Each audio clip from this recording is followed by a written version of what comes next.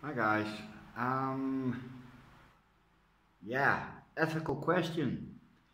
Um, this is obviously a yellow vanda, but uh, the spike is, yeah. Question. Should I remove this leaf to give the flower spike some room because, well, yeah, it's not extending that far. Or should I just suck it up and admit that I made a big mistake because this is my mistake. Uh, I should have turned the, the whole plant around instead of just let it hang. And these flowers get bigger. Yeah, they do. So, Suck it up or cut it off.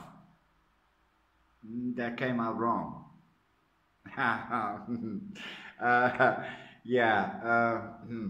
so yeah. Um, should I sacrifice the leaf for the flowers? Okay, later.